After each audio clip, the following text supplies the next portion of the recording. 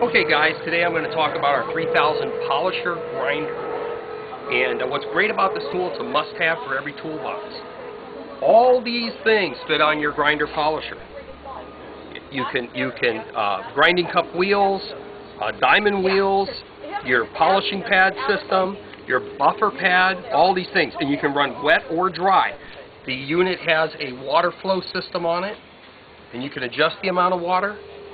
It also has the breaker to uh, provide security, knowing that you uh, won't get uh, electrocuted.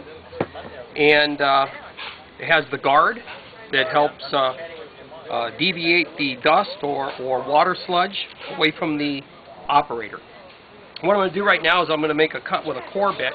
Now this is the, the thing about a core bit and running it on this kind of unit versus a standard drill. It works way faster, way more efficient. A regular drill only turns at a certain amount of RPMs, where a polisher or grinder, this is of course a variable speed, and it can run at a lot different. It'll run up to about 3,000 RPMs. Okay? I'll show you how quick and easy it is.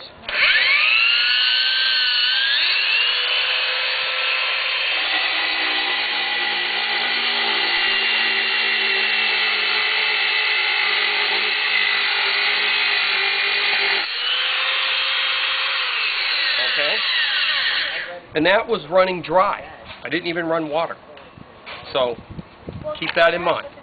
Also, one last feature on this unit, I'm going to show it to you so you understand it, is this is where the water feed occurs, at the end of the unit. So you don't have to worry about water getting around the motor and so forth.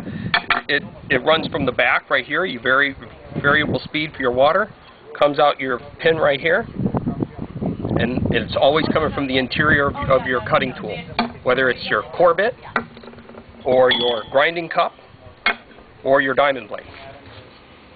Okay, thank you.